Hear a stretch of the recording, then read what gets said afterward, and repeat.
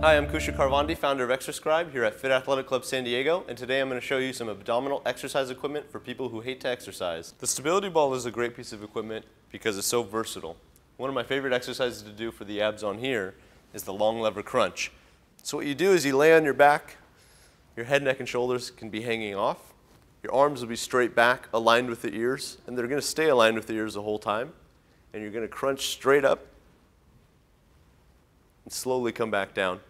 You don't want to do a full sit-up. You just want to crunch, do about 30 degrees, hold it, and come back down. You want to do about two to three sets of 20 reps. Next, I really like dumbbells because these are also very versatile. And I like to use this for a weighted leg raise. So what you'll do is you put the weight in between your feet, make sure you have a good secure hold on it so it doesn't fall on you. Have your arms down, and you're just going to lift your legs up, and you bring it back down as slow as possible without touching the floor.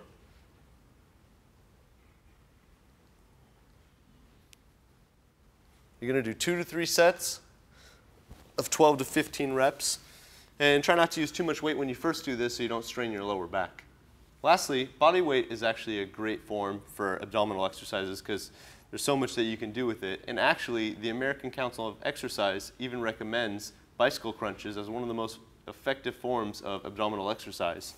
So when you're going to do a bicycle crunch, make sure that you do it appropriately by having your knees bent to start, hands behind the head, and you're going to elevate your shoulder blades about three inches off the ground, making sure that your abs are tightened to begin with.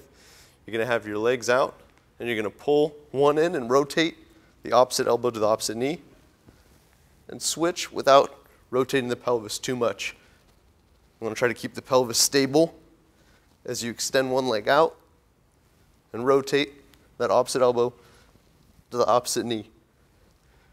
You want to try to do about 12 to 15 reps per side for two to three sets. Again, I'm Kusha Karvandi, founder of Exerscribe here at Fit Athletic Club San Diego, and today I just showed you some abdominal exercise equipment for people who hate to exercise.